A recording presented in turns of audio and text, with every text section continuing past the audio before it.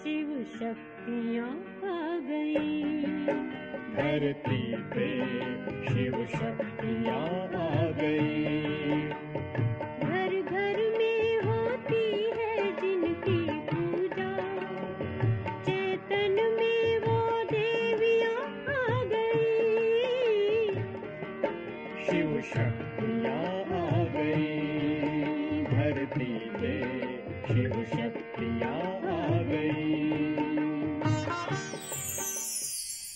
ओम शांति। भारत त्योहारों का देश है। और यहाँ हर त्योहार बड़े उमंग, उत्साह के साथ, फुल एनर्जी के साथ मनाए जाते हैं। चारों ओर ऐसा उमंग, उत्साह छा जाता है। नवीनता का वातावरण बनने लगता है। लोगों की खुशी का पारावार नहीं होता। और ये हर त्योहार हमें कोई न कोई प्रकार की सीख देता है, कोई उपदेश देता है, कोई संदेश देता है। लेकिन आज ये आध्यात्मिक महत्व धीरे धीरे लुप्त होता जा रहा है। और लोग उस तथ्य को न समझने के कारण साधारण रीति से एक रीत रस्म के रिवाज से मनाना शुरू कर दिया है। वैसा ही यह त्योहार नवरात्रि का कहा जाता है कि साल के अंदर चार नवरात्रि होती है। दो नवरात्रि गुप्त मानी गई है। और दो नवरात्रि। चैत्र की बसंत नवरात्रि और ये शारदीय नवरात्रि को प्रमुख माना गया है। और नौ दिन लोग विशेष जीवन के अंदर कई प्रकार के संयम अपनाते हैं। चाहे आहार से संबंधित संयम हो, व्यवहार से संबंधित संयम हो विचारों से संबंधित संयम हो। इसी के साथ साथ मानसिक संयम, स्वच्छता का संयम और भी अनेक प्रकार के संयम को अपनाते हैं। और ये संयम से व्यक्ति के जीवन के अंदर क्या प्रभाव पड़ता है? तो जब ये नवरात्रि के नौ दिन होते हैं और चारों नवरात्रि को अगर लिया जाए तो 36 दिन जो होते हैं साल के, विशेष ये ऋतु परिवर्तन का समय होता है।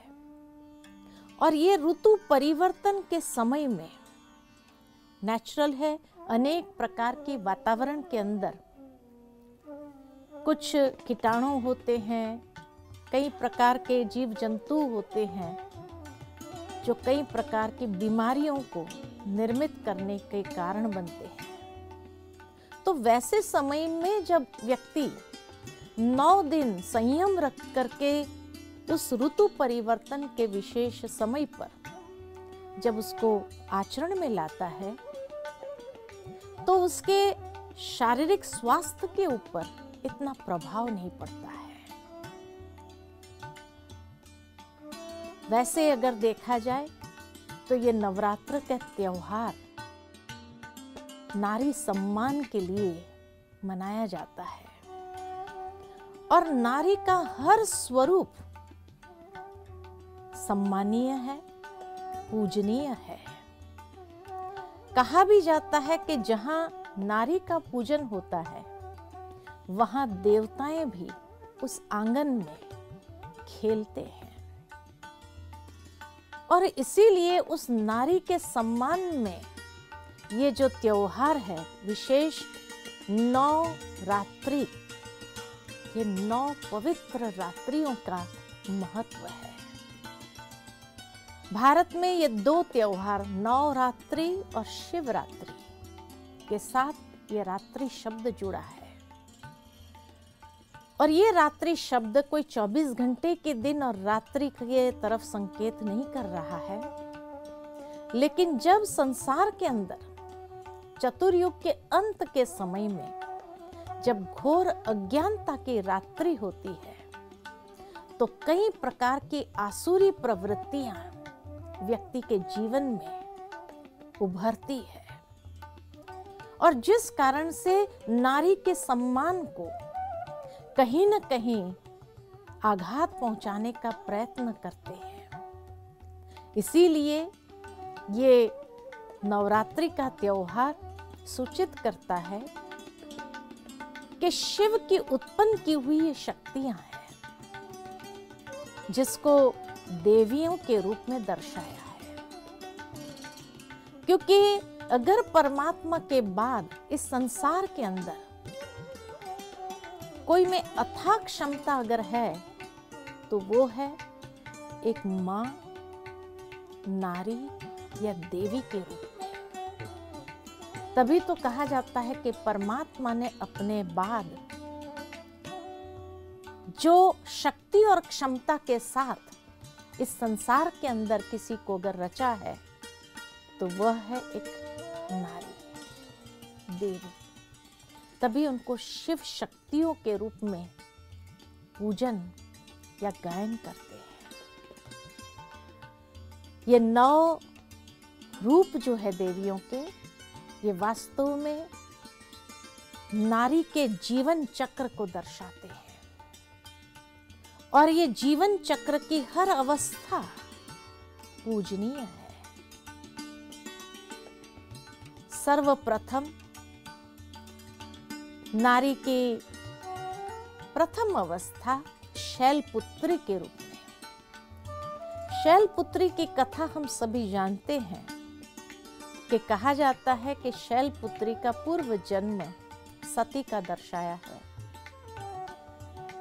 जहाँ वो शिव के साथ विवाहित थी और जब उसके पिता ने यज्ञ रचा और शिवजी को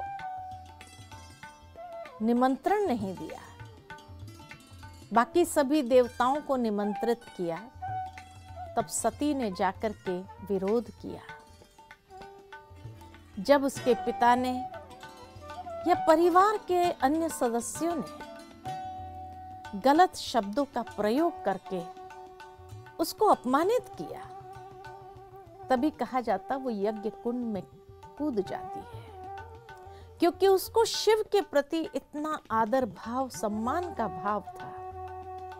तो वो कूद जाती है और अपने प्राण त्याग देती है। तब कहा जाता कि दूसरे जन्म में वो शैलराज की पुत्री के रूप में जन्म लेती है। इसीलिए उसको शैल पुत्री कहा गया। शैल पुत्री यानी एक छोटी सी कन्या। वैसे भी भारत में जब भी कन्या का जन्म होता है तो यही कहा जाता है कि लक्ष्मी आई। लक्ष्मी का स्वरूप माना गया है। और इसीलिए वो कन्या एक निर्दोष, पवित्र, जिनके प्रकट होने से भी वातावरण के अंदर चारों ओर पवित्रता का आभा मंडल फैल जाता है। और ये प्रभा मंडल ऐसा होता है कि जिस प्रभा मंडल में वो बहुत सुंदर स्वरूप उसका दर्शाते हैं। अर्थात अनेक प्रकार की संपत्ति लेकर के वो इस संसार में प्रकट हुई है। तो जब भी कन्या का जन्म हो, पवित्रता की शक्ति उसके साथ घर में आती है। अर्थात एक पॉजिटिव ऊर्जा सारे घर के अंदर फैल जाती है। पवित्र स्वरूप बड़ा निर्मल स्वरूप होता है। निर्मलता का प्रतीक, पवित्रता का सिंबल इसीलिए उसको दिखाया कि हाथ में त्रिशूल के साथ साथ कमल पुष्प है। त्रिशूल अर्थात कि ये कन्या के अंदर तीनों ही स्वरूप है। माँ दुर्गा का स्वरूप है, माँ लक्ष्मी का स्वरूप है और माँ सरस्वती का स्वरूप है। इसीलिए ऐसी कन्या के जन्म पर हमें शोक नहीं करना है, लेकिन हर रीति से उसका स्वागत करना है। उस ऊर्जा को सारे घर के अंदर और प्रवाहित करने देना है। भावार्थ ये है कि वर्तमान समय को मनुष्य को ये संदेश जाता है शैलपुत्री के माध्यम से कि कभी भी ऐसी पुत्री का भ्रूण हत्या कभी नहीं करनी चाहिए। क्योंकि नहीं तो एक देवी को मारने का जो पाप है, वो बहुत अधिक माना गया है। तो नवरात्रि का पहला दिन शैलपुत्री का, अर्थात कन्या का स्वागत करो, कन्या को सम्मान दो और वो कन्या के पवित्र आभा मंडल के रोशनी को अपने जीवन के उत्थान के लिए स्वीकार करो। भ्रूण हत्या करके आज मनुष्य अगर देवी की पूजा करे तो वो तो कोई फ़ायदा नहीं है। घर में आई लक्ष्मी को त्याग कर दे और फिर मंदिरों में जाकर के देवियों की पूजा करे तो उससे प्राप्ति क्या होगी? ये कन्या भी शिव शक्ति है।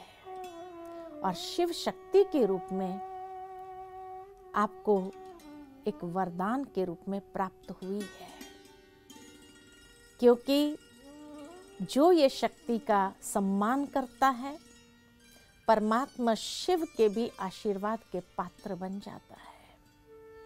तो इसीलिए आइए, आज प्रथम दिन नवरात्र का बड़े धूमधाम से उस शैलपुत्री अर्थात पवित्र कन्या का हम स्वागत करें अपने जीवन में भी और अपने जीवन में उसका सम्मान करते हुए, उस परमात्मा शिव का आदर करें रिस्पेक्ट करें, उसका रिगार्ड रखें। ये पवित्रता की शक्ति हम स्वयं में भी धारण करते हैं। तो चलिए थोड़ी देर के लिए हम आवाहन करते हुए उस देवी का अपने अंदर भी उस पवित्रता की शक्ति को आवाहन करते हैं। तो कुछ क्षण के लिए अपने मन को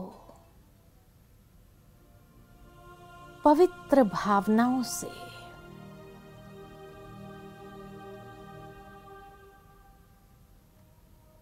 जंकृत करें।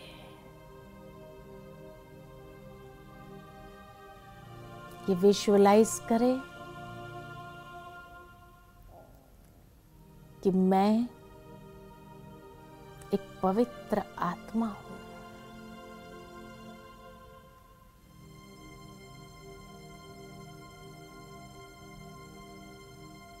मेरा स्वरूप शुद्ध और निर्मल है। चारों ओर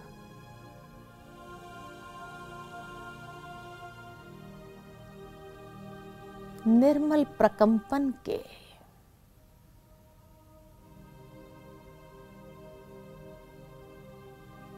प्रभा मंडल को देख रही हूँ।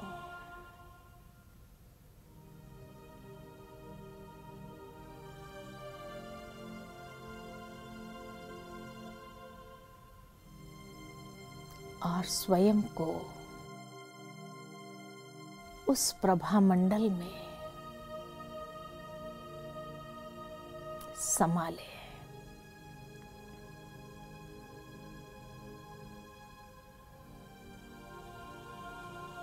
मैं आत्मा शक्ति हूँ। परमात्मा शिव की शक्ति हूँ। और परमात्मा से पवित्र किरणों को स्वयं में धारण करती हूँ।